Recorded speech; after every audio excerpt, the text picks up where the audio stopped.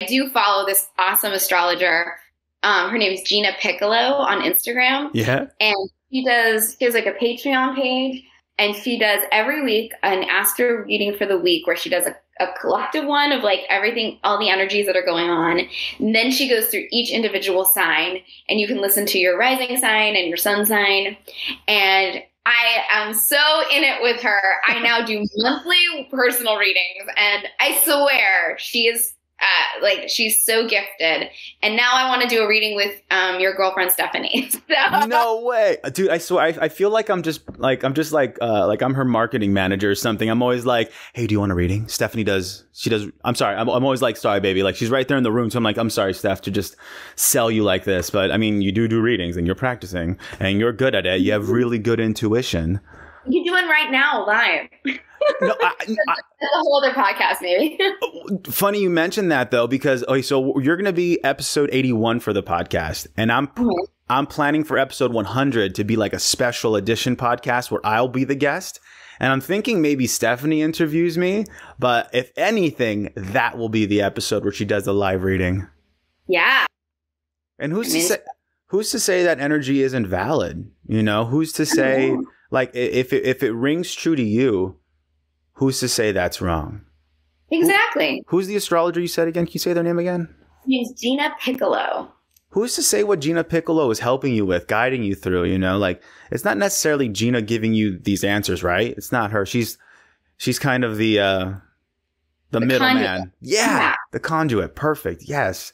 And I don't know. It's it honestly feels because my friend Brian was here the other day, and then he, we started talking about like uh, about cards and whatnot, auras, and and he talked about how he sees he used to see auras, and and we were just like, bro, like he got a little timid, but we're like, bro, you're in a good room. This is the right audience to talk about this. And if Yeah. is this our generation's new religion, our new faith? Because, yeah, you know, look, I feel like organized religion, you know, really causes a lot of divide in a lot of different ways.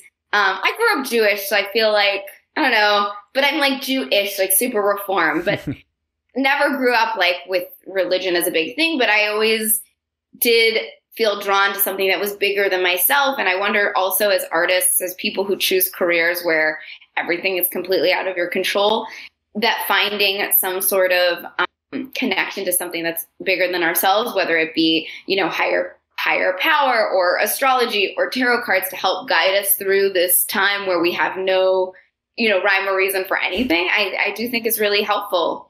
And whether it's real or not, I mean, I personally do think it's real because it it feels right, you know. And that's what matters, I think. That's what because Christianity, like I was raised Christian, and Mhm. the way I learned about Christianity is that it, it wasn't a religion; it was a faith.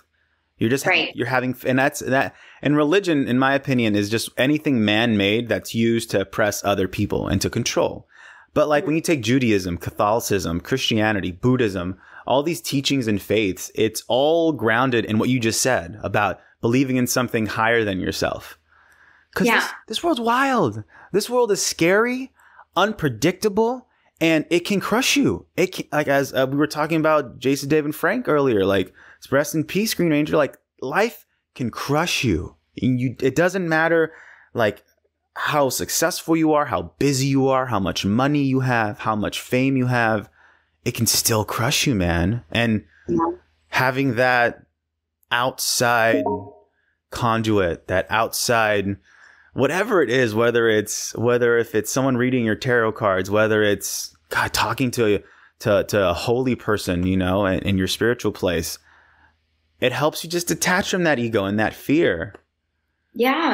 Yeah. It's something where you're like, well, you know, I really do believe that there's a divine plan for all of us. And, you know, you can't see light without knowing what dark is. So, you know, I feel like the things in my life that feel like challenges or hard times, it's like I have to find the light in them and go, okay, well, I'm going to grow from this because if I didn't have this, I wouldn't be able to enjoy this other thing in my life because I wouldn't appreciate it the same way. And, you know, it's about really finding, you know, light in the dark times.